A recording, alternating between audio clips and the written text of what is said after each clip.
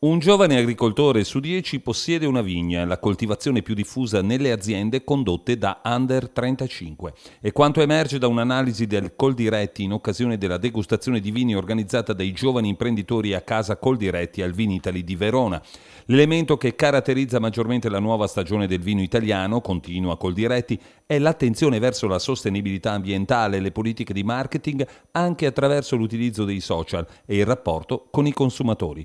Una cantina under 35 su 3 esporta all'estero contro il 20% della media generale delle aziende vitivinicole italiane, secondo il rapporto del Centro Studi Divulga.